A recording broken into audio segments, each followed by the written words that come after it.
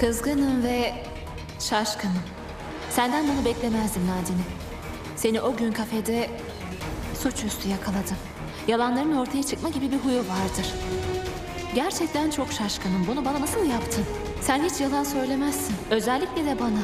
Yalan söylenmesinden hiç hoşlanmadığımı biliyorsun. Biri bana yalan söylediğinde cinlerim tepeme çıkıyor. Sinirden elim ayağım titriyor. Nandini, seni anlıyorum. Suçlu hissediyor olmalısın. Durun bakalım.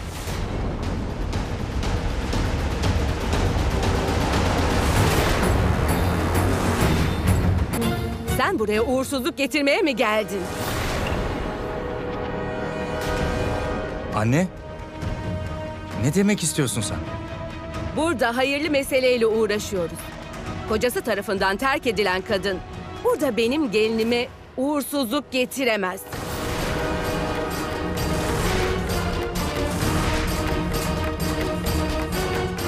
Anne bu hiç doğru değil. O kocasını kendi kararıyla terk etti. O halde bir aileyi mahveden kadının kızıma yanaşmasına izin vermem. Demek ki bu kadın kesinlikle bencilmiş ve utanmazmış. Kocasını terk etmiş ama sürekli sanki yeni gelinmiş gibi herkesin önünde süslenip duruyor. Utanma arlanma yok ki. Kendi ocağını söndürmüş şimdi de gelmiş hayatını yaşıyor. Anne, sen ne ara bu kadar kaba oldun? Kunal, seni buraya kim davet etti? Onu buraya bu kadar süsleyip getiren de kim? Onu ben aradım. Bu biçare kadına burada ihtiyaç yok.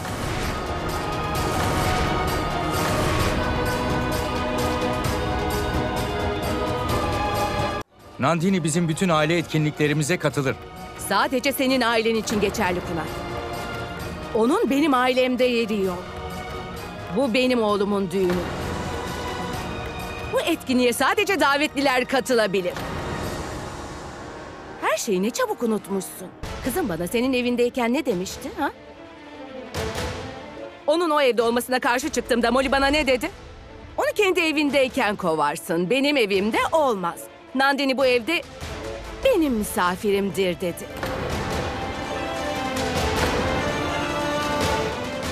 Öyleyse şimdi senden ricam şudur. Lütfen bu kadına bir an önce burayı terk etmesini söyle.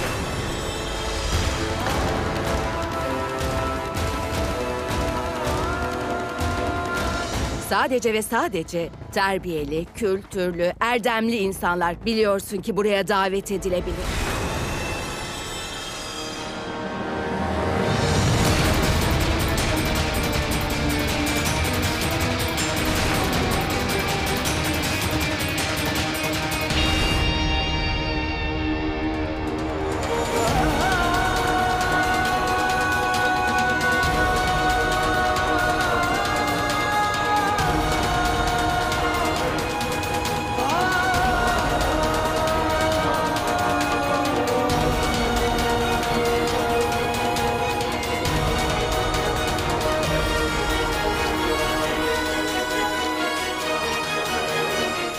Daha fazla video izlemek için kanalımıza abone olabilir, ilk izleyen olmak isterseniz bildirimleri açabilirsiniz.